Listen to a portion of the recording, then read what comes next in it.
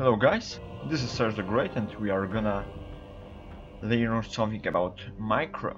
So, basically Micro is controlling your army in battlefield, giving them orders, deploying, changing forma formation and stuff like that. And many many players, new and old, ask for my, for my Micro. Why it's uh, pretty fast in, compar in comparison to their? Actually, there's nothing to hide and in this tutorial we are gonna learn how to play faster and better. So, uh, let's load this uh, custom battle balanced army and uh, well, uh, we are gonna start, uh, we are gonna divide this tutorial into three steps. The first one is definition of the micro and we did it already. So, uh, why it's important to switch between units to to play with them much faster and uh, more effective because it allows you to respond to enemy moves fast and, effect and effectively. It also much improves when, uh, your performance when you're rushing. Uh, the timing of the charge of cavalry and infantry is pretty much uh, it's pretty much one of the most important things uh, when uh, when you play multiplayer or even single player battle. So, uh, first of all, let's deploy our uh, balanced army. The rules 6 to cavalry, no gun art, and I'm commanding France and computer is commanding Spain. So, to play effectively, uh, you need to use more keyboard than mouse. Uh, this can uh, sound a little bit weird because most of the people plays like that. Select unit, attacked, go back, select unit, attack, go back, select unit, and uh, that's not really time effective. So, anyway, uh, at the front lines you shall put 5 units of your cavalry. Some people uh, prefer to have general uh, in the center of uh, flank, but I prefer uh, playing with him more defensive, so I keep him as backup here. Anyway, cavalry at the back, like uh, cavalry at the front line, sorry. Then uh, behind heavy infantry. Behind means not in the middle. That that's wrong. Don't do it. But behind, like three, four meters behind the first horse. Perfect. Of course, uh, we've got some pikes because it's uh, all period, so uh, we can deploy them behind, but I prefer to keep them keep them uh, close to missiles to, you know, to prevent uh, light cavalry and heavy cavalry charging right, uh, striking right into my crossbows. Anyway, uh, there are two options. The first is use groups, and the second is not use at all.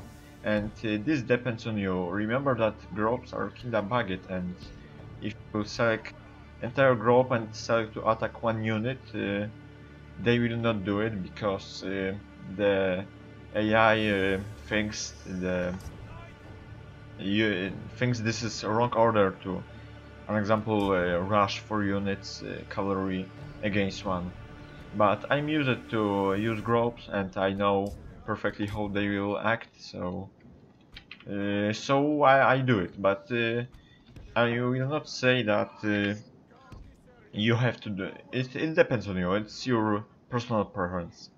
So we've got this nice formation, and uh, well, I uh, I turn on guard mode for my general because it can help to avoid some traps. And that's a little bit uh, a trick. And well, let's start this. Uh, and by the way, this is pretty much flexible formation. One of the one of the best I use every day. So, uh, if you let me pause it. Many people place like this. Select unit, select next unit, and it takes pretty much a long time to get the job done. I prefer to uh, using the tab key to switch between units, see this? And uh, if you will select a group or whole army, and if you will hold uh, hold uh, Alt key, you can move them uh, in the whole formation without uh, changing. let's demonstrate this. Hold the Alt key and press right click, an example here, and see they pretty much have same formation. This first let you let you save uh, much more time than uh, deploying here and uh, regrouping and stuff like that. So Alt key is for moving whole army or, group or units in the same formation. Uh, well, so uh, let's do normal time and now it's the most important thing. Aim at crossbows if he if your enemy got balanced army. If he's not, aim at cavalry. We'll also demonstrate this at rushing. And here is the second most important thing.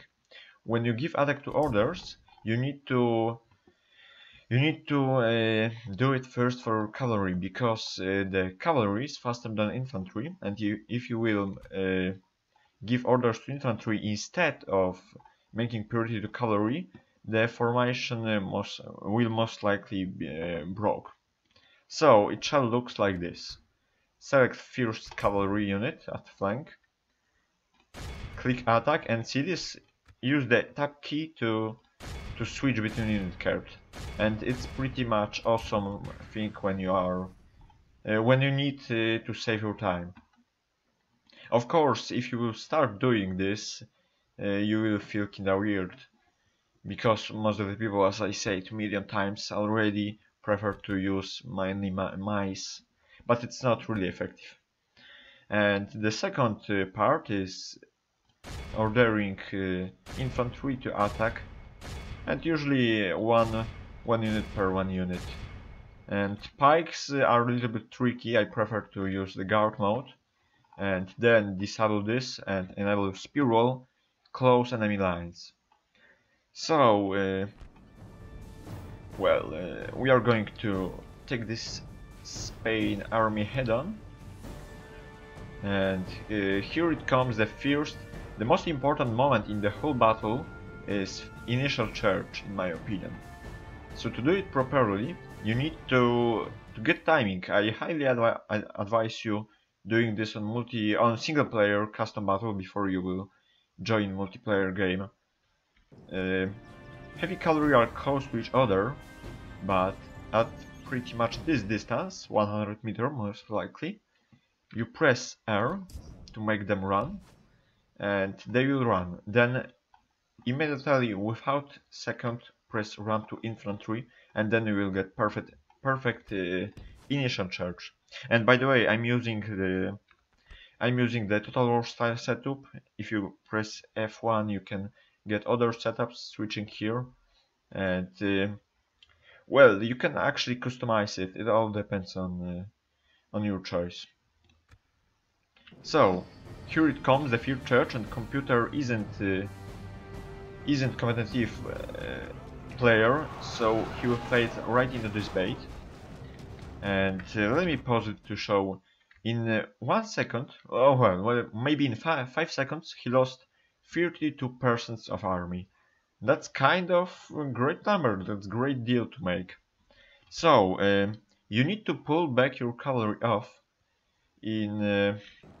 That's always that's always problem for new players. When? Pretty much after 10-15 seconds. It depends. Uh, an example, does he have pikes or is your cavalry losing like this unit shaken? You need to get this time, you can see this all the his cavalry is routing. Of course in multiplayer it, it won't be so easy, but... Uh, and actually I forgot, uh, if you've got crossbows, aim at his cavalry in the second stage. And pull back your cavalry to the flanks, don't uh, don't throw them off here to to to avoid uh, clusters. But uh, remember that uh, chasing unit is also very important because these guys have elite morale, uh, I believe 90, and they will came back, so chase them down if you can. And see this, they came back. But Pavis, an example, Pavis Crossbows have low morale, so I don't care, and General's Bodyguard, of course. I have to kill him. was busy talking. And well, pretty much all Spain army is routing and I lost only 12, approximately 12% of my soldiers.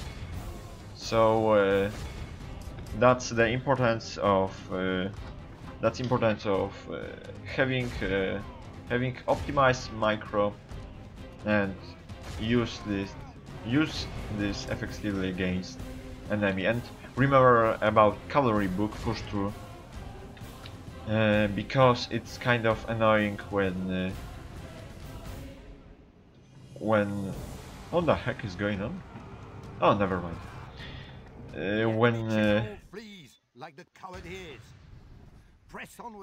when you push through and uh, the cavalry bug is uh, cavalry bug isn't uh, is thing you shall avoid I will make a next video how to avoid this and what does it mean but for now we are focusing on microing so hope this battle helped uh, help in uh, understanding uh, why hotkeys are much faster than than using uh, mouse. And of course, uh, I don't think so in the multiplayer someone would just charge right into this pikeman. But who cares, it was just the demonstrate video. And I'm gonna speed up this a little. Mm. Give me one second. The so the next one you are gonna play is... Uh, the enemy general lies dead. We have Sendeker to our cowardly foe, Montjoie Saint-Denis. Our foe is So that's correct victory. Captain Gassot lost only 132 uh, lost and uh, soldiers and killed uh, much more. And uh, the step 2 is pretty much uh, very similar to step uh, 1. Actually let's load this custom battle and that was uh, Rush.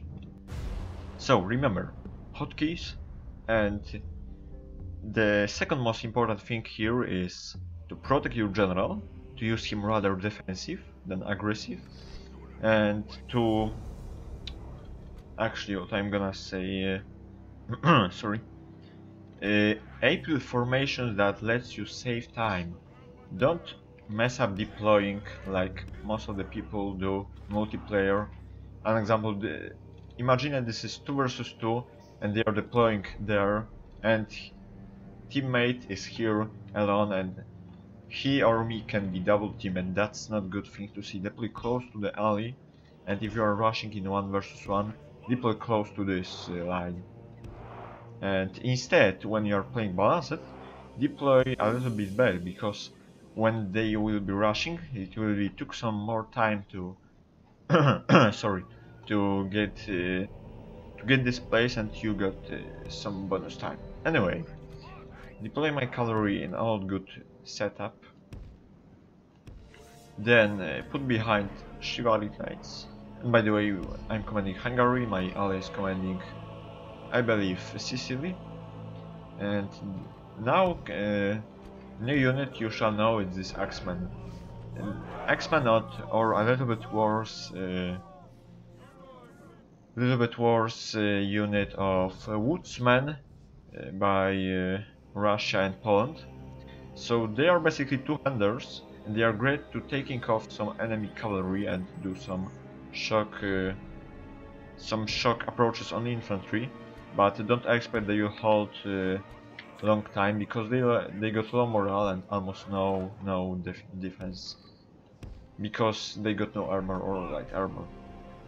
And the most important thing uh, you shall know when you're rushing is uh, put some buffer units, peasants or better crossbow militia to to avoid uh, light cavalry or horse archers.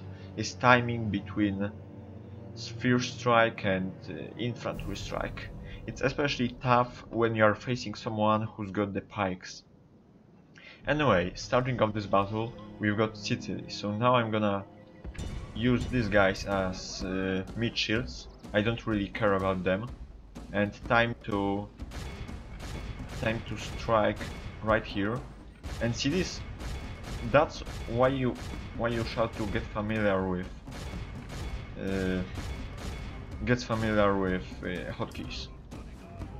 So right now I'm uh, running my infantry, same with missiles, and computer is actually doing uh, nice thing. Uh, he's killing some of my cavalry. We will train this uh, in the next battle. And because computer is a little bit stupid, I'm gonna charge right into this Pavis crossbows and put my general right to left flank to make some hammer and anvil. It's very useful to have this unit uh, behind uh, behind enemy lines. So uh, first charge and these guys these guys are done. And time to strike uh, actually let's pull back my general.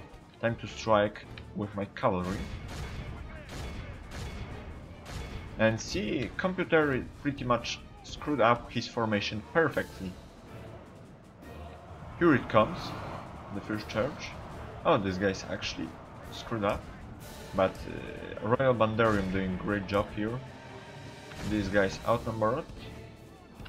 And see, we got some route. So pretty much all is down to your reflex and timing. And that's why you shall train micro. And after this initial charge you, you shall pull back your cavalry to the flanks. And the rest shall be easy. It actually depends uh, which level are you playing. Anyway, let's kill this Royal Banderium. Oh, and as we can see the computer is using cavalry bug. Most likely he does know that it exists. And these guys, alright. So the uh, Pike Militia? Not really. And remember that pack Militia is pretty much crap units, but charging right into them isn't your best choice. Our men have slain the enemy general. That's great. And they got very low morale. So if they are wavering or shaken, you can charge even from uh, back. Maybe not even from back, I, I gotta say that uh, you can charge from flank, like from this angle, and they will rout, most likely. Of course, do not use your general unless you have to. And now chase down these guys, because they can came back. Uh, what's left? Oh, this unit. And General's bodyguard. Let's kill him. And I forgot to say that there's actually a Steam version of this guide, so be sure to check it out. It's pretty much the same thing uh, I'm doing here, but without live demonstration, and there's link in the description to, to this guide. And so this clear, this is clear victory. I pretty much screwed up uh, initial charge here, but it doesn't really matter. Captain Ulashlo won this battle and it's time to last step to improve your micro, micro and play better is countering the rush. Example of countering the rush, whole battle, custom battle and uh, countering the rush, perfect. And the last step is pretty much logical conclusion. Practice, practice and practice your micro whenever uh, whenever you can. In single player, in multiplayer, test uh, what is working for you and what what is not. Try new setups, new army compositions in single player before uh, joining multiplayer. Then switch to competitive gameplay or just multiplayer game. Train with friends, with enemies, train with anyone. And of course, at uh, at the beginning you will lost some battles, especially uh, when you're new to hotkeys, and maybe even the whole hotkeys stuff isn't for you. If it's not work for you, use your mouse. There's nothing worse to play game uh, without enjoying it. So right now I'm commanding the Holy Roman Empire. And actually I'm gonna counter this rush from the friends. And uh, that's pretty much uh, all, all the battles. And this guy's here. I wanted to show show you off and remember about this guard mode it's it's very useful and if you are uh, if you are uh, suspicious or if you are expecting that enemy will rush you can actually deploy here, maybe in a here, here uh, get some horse archers to harass him off. And uh, well, starting this battle, we've got uh, friends rushing right into me with two units of crossbows. Then they are cheap crossbows and uh, the army composition is pretty much the same. And now we have to deal with these Flemish pikes, so the initial charge will be a little bit different. The most important thing is disable the wheel mode, because most likely they will aim at shit units. You need to aim at cavalry. Uh, actually, not, not like this. Perfect. And right now, you have to put your pikes here. Uh, guard mode. And now you can order infantry to catch them. And here it comes a little bit different because computer is pretty much stupid, so I can't do this charge. But against multiplayer, uh, against uh, human player, it won't work really well. So he will put the spikes behind. That's mistake. And now press run to well to to run with your cavalry and see how much percent enemies killed. 3 to 1 30 34 percent and I lost only few units. So now pull back because we are uh, progresses well for the Empire. stay strong and enemy will be defeated. Will be defeated. I completely agree with this guy. And actually aim at this cavalry. Uh, maybe even a general's bodyguard. And chase them down I'm pretty much slow today but my speed is enough to talk and play. Only half the and that's and remember alone pikes means pretty much nothing.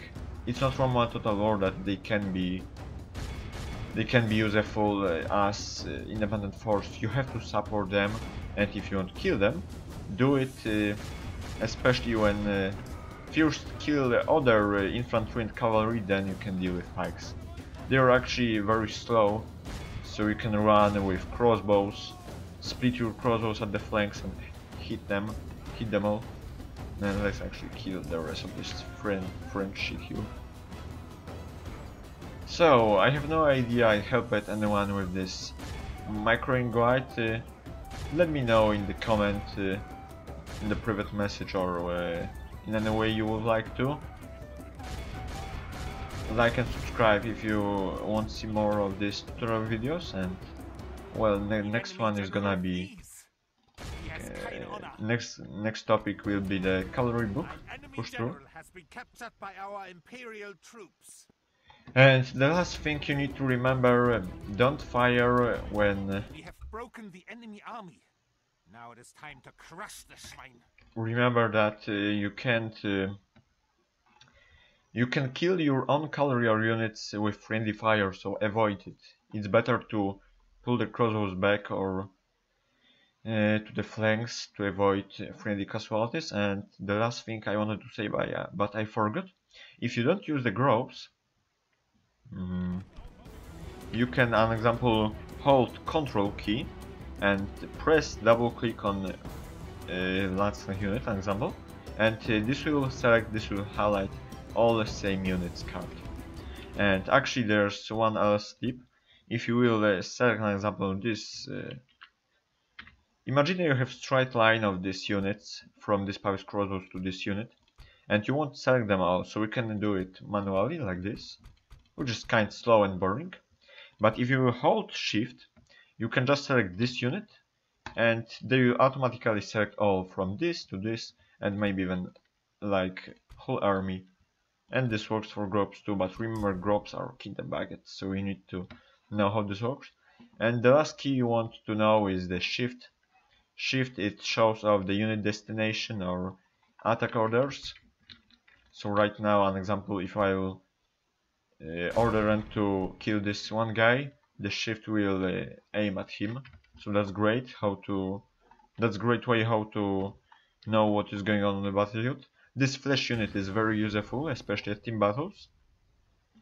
And uh, actually the last uh, the last key I wanted to say is uh, hmm, uh, if you are press if you will get the rally troops ability. And uh, for some people the if you will check the minimal HUD uh, this can be useful. See this? You can uh, you got no flash button but you got pretty much more space and you can easily hide this because it's like slide. But I'm used to players battle HUD here. And uh, well uh, that, that is, that's the tutorial for microing for optimize and boost up, up your micro. Thank you for watching. Hope you enjoyed this one and like and subscribe and I will see you guys in the next one. Cheers